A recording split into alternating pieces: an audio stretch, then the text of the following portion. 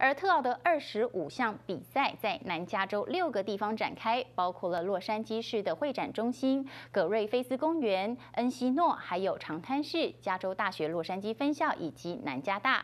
比赛今天进入第三天，场上的选手们有的甚至是不良于行，不过专注的表现让人非常钦佩。特殊奥运在南加大举办田径项目，今天在 Locker Stadium 进入第三天。加州的艳阳下，特奥选手认真的神情让人敬佩。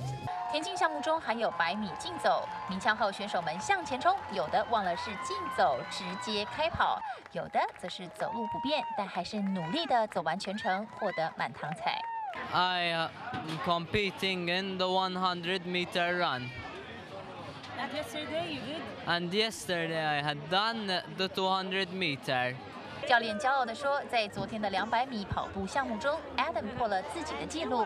特奥的目的就是鼓励选手们完成自己跟自己的竞赛。I think it's so inspiring to see so many athletes who are competing and just coming out here and giving it their best. That's more than I can do. That's why I'm here. All I can do is cheer them on. 而场边的啦啦队让选手们信心大增。